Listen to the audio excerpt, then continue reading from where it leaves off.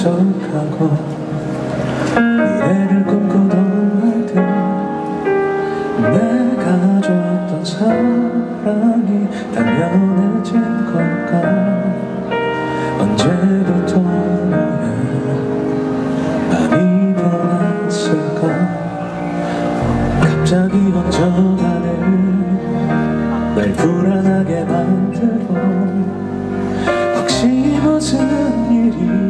건지 걱정을 하다 다시 만나자고 하지는 않을까. 그냥 기대를 해. 잠들 수 없어. 새벽에 걸려온 너의 전화는 그리움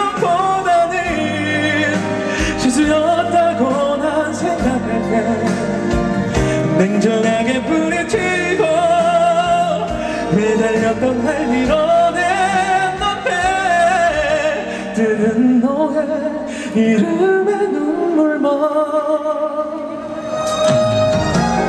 미안한 마음이야. 아쉬운 마음이야. 애써 날 위해 주는 척한 행동인 거니. 받아볼까 진을 차려서 목소리 들으면 울 것 같아서 새벽에 걸려온 너의 전화는 그리움보다는 실수였다고 난 생각할 때 냉정하게 부딪히고 매달렸던 날 이뤄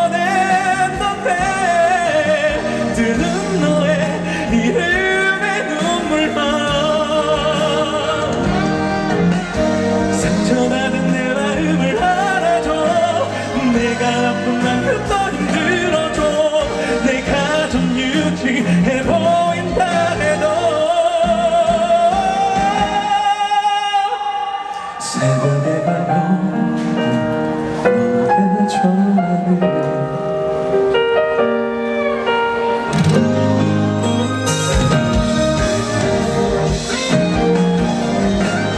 울리는 한몇초 내 벨소리에 널 미워한 마음이 완벽히 무너질 것 같아서 잊으려 몸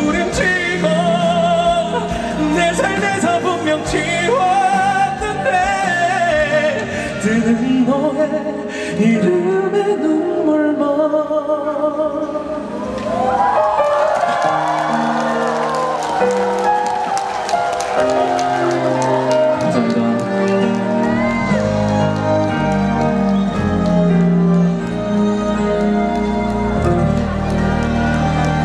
감사합니다. 노래 괜찮죠? 네, 아 감사합니다.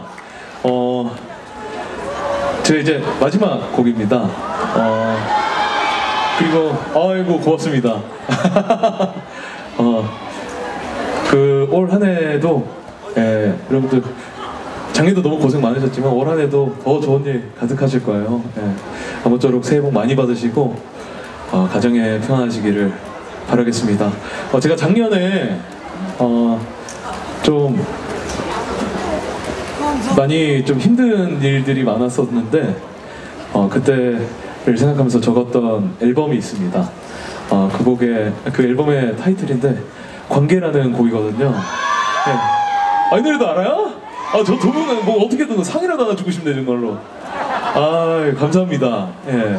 이게 가사가 어, 참 좋습니다. 제가 직접 쓴 노래인데 어, 여러분들도 많이 공감해 주셨으면 좋겠고 어, 올 한 해도 저 노래 많이 내고 방송도 올해는 해보려고 생각하고 있으니 어, 혹시라도 TV 돌리시다가 어 이청영 어디서 봤는데 싶으시면 한번 더 들어봐 주셨으면 좋겠습니다.